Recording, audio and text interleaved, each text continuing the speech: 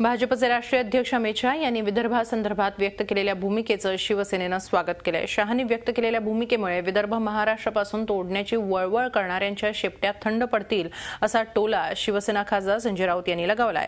तर शहांनी अयोध्येत राम मंदिर उभारणीबाबत व्यक्त केलेल्या भूमिकेशीही राऊत यांनी सहमती व्यक्त केली आहे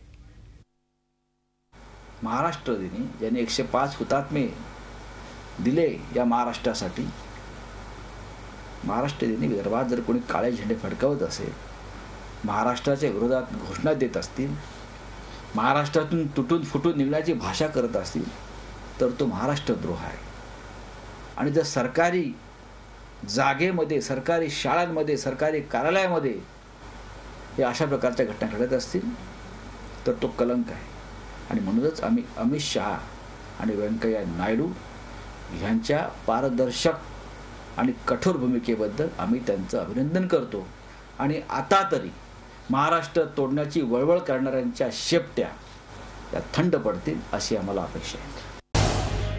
झी चोवीस तास रहा एक पाऊल पुढे.